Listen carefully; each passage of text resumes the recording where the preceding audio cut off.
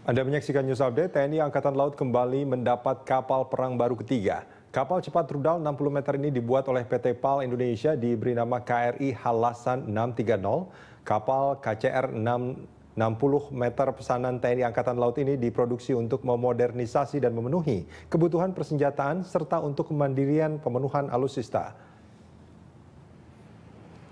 Kapal cepat rudal yang ketiga buatan anak negeri merupakan jenis pengembangan dari kapal patroli cepat rudal KRI Sampari 628 yang sudah memperkuat armada kapal perang pada Mei 2014.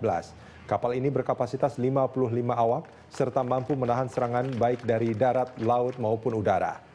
Selain itu, kapal ini juga dilengkapi dengan peluncur rudal jarak menengah yang bisa melumpuhkan musuh dari jarak 140 km.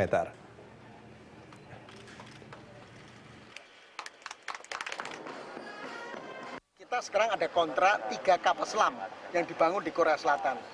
Kapal pertama, kapal kedua kita bangun di Korea Selatan. Kapal ketiga kita akan bangun di Indonesia secara bertahap. Tadi baru saja sebelum saya ke sini, ya ke tempat ini, saya memberikan pembekalan kepada sekitar 200 personel PT PAL yang akan kita berangkatkan ke Korea dalam rangka untuk transfer of technology ya untuk pembangunan kapal selam ketiga.